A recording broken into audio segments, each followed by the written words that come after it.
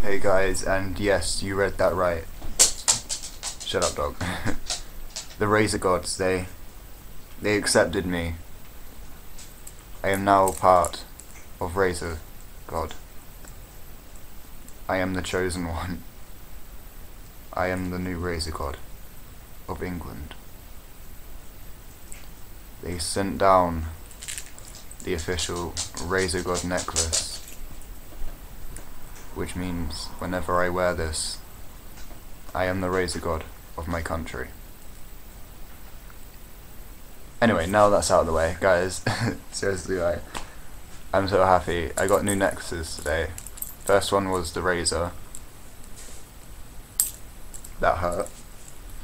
And then I got these two bird things, which are pretty cool, I guess.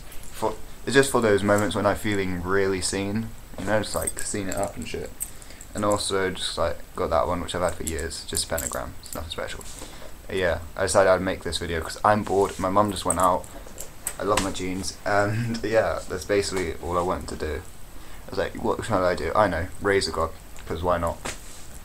People actually call me that though, that's weird. I like it, I don't know, I, yeah, if you want I don't mind. Anyway, but, wait, wait, wait, Dab God. Anyway guys, love you. Like, subscribe, comment, share, all that wonderful shit. Why am I doing it? Recently I've just been going, uh, don't judge, okay? Don't, why? Why am I doing that? Okay. Bye. I'm not even going to edit this video because I just can't be fucked. Anyway, bye. It God?